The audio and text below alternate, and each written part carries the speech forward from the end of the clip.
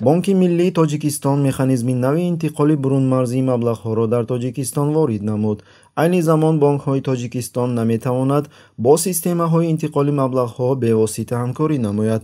Ҳамаи амалиётҳои интиқоли маблағҳо бояд танҳо аз системаи миллии ташкилшуда амалӣ гардад дар навбати худ системаҳои русӣ ва байналхалқӣ бояд суратҳисоби корреспондентӣ дар бонки миллӣ бикушоянд ва интиқоли маблағҳо танҳо бар асоси вуҷуд доштани дар он маблағ мумкин мегардад.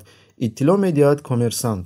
Ҳарчанд бонки миллии тоҷикистон изҳор намуда буд ки бо се системаи маблағгузаронӣ western union контакт ва unistream созишнома имзо кардааст вале феълан танҳо unistream кор карда истодааст ба хонадони масалан ин нафар сад ё дусад евро лозим аст ба ино медиҳанд ва он нафаре ки дар хориҷи кишвар аст барои як нафари дигар аз як кишвар ба кишвари дигар чикор мекунад пул аз дохили аврупо ба як кишвар ё ки ба амрико масалан чикор мекунад пул интиқол мекунанд имрӯз ин чиз аст ки то як андоза илова бар ин боз маблағро бо воситаи сбербанк онлайн низ интиқол карда мешавад ки корти онро спитаменбонк таклиф менамояд вале барои бадал намудан миқдори муайяни маблағ ситонида мешавад масалан сокини шаҳри душанбе ба фарзандонаш аз русия 92 доллар интиқол намудааст. Бо ҳисоби як фоиз комиссионӣ фарзандонаш 887 сомонӣ бояд мегирифтанд вале ба онҳо 5225 рубли русӣ тақрибан 785 сомонӣ пардохт карданд.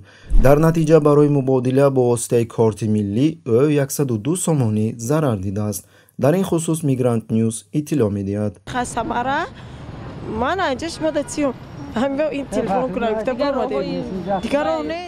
сокинони тоҷикистон бо чунин вазъияти кор норозӣ ҳастанд. Навбатҳои дароз ва имконият набудани гирифтани маблағҳои худ мардумро ба ноумедӣ гирифтор мекунад. Бо вуҷуди камбизоатӣ ва шароити сахти зиндагӣ дар тоҷикистон режими раҳмон боз бори гарони мардумро пурзӯр карда интиқоли маблағҳоро инҳисор менамояд. Омадем аз саҳар боз наметавонам гирифта. Одамаш бисёр sistemi olsun korğan.